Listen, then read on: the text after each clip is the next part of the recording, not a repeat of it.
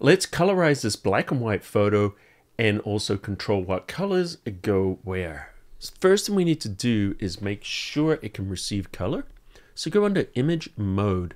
Make sure you're in RGB mode. If you're in grayscale, you can't convert it to color. Now we're going to use the neural filter. We're going to go filter down to the neural filters. Then it can pop open. And now we want to use colorize. So let's turn on colorize. We've done this before.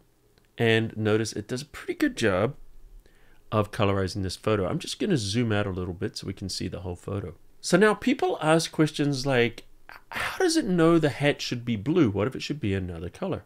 Well, we can very easily change that. All we need to do is just click on an area that we want to change the color. So let's click on the brim and then the color pick is going to pop up. I'll turn off web safe so give me more options and I'm just going to choose black. Now notice what happens when this applies. It removes the color from the hat. Now if I want to make the hat a different color, perhaps green, we just click on the color swatch. The color picker will come up. Let's find a nice shade of green. That's nice. Click OK. And it's going to apply it to the hat. Okay, that green's a little bit too saturated. Let's click on it. And to reduce the saturation, we just drag it to the left.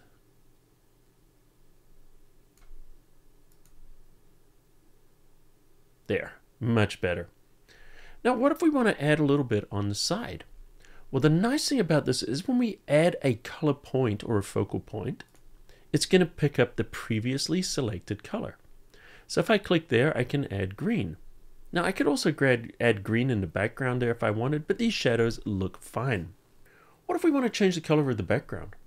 Simple. We just click. Of course, it's going to add the green because it was the previously selected color.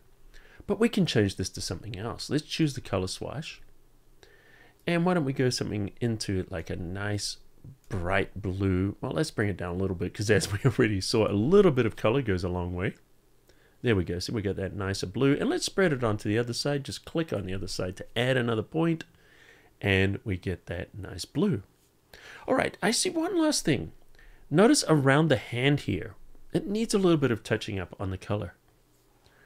Maybe even in the teeth there too, because the red's kind of gone through. So this is how we can freely edit this photograph afterwards. Under output options, we're going to output as a new color layer. And notice what happens is we just see the color. Click OK. Now we have the black and white photo with a color layer on top. This is perfect. All we need to do now is just sample the color we want and we can retouch this photo. All right, let's fix the areas of color on the hand, the teeth. So let's select the background layer. And what I'm going to do is just grab the magic wand just to select this because it'll be the quick way to do it. Let's drop that tolerance down quite low because it's a lot of just black there. So just click and that'll select it nicely.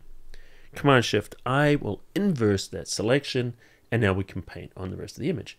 Before we paint, let's go back to the layer we want to work on. And now we're going to grab a brush. And with the brush, I'm just going to hold down the Alt or the Option key and that will sample the color underneath the brush and then we can just paint.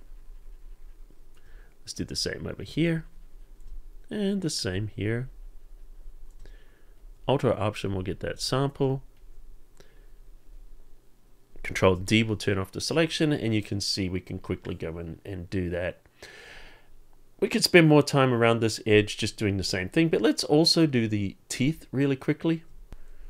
In fact, I'm going to just tap on this red color and I'm going to reduce the saturation a little bit more. We don't want to go to pure white because that's going to look really bad.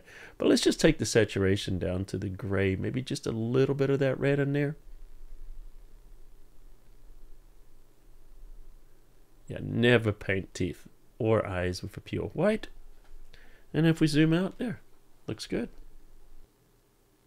So let me know in the comments underneath if you learned anything new in this tutorial. Also check out photoshopcafe.com where I'll have the written steps there. And if you're new, welcome to Photoshop Cafe. Consider hitting that subscribe button and turn on notifications. You won't miss any of my videos. Do me a favor, hit that like button. Helps with the YouTube algorithm, helps people discover us. And until next time, I'll see you at the cafe.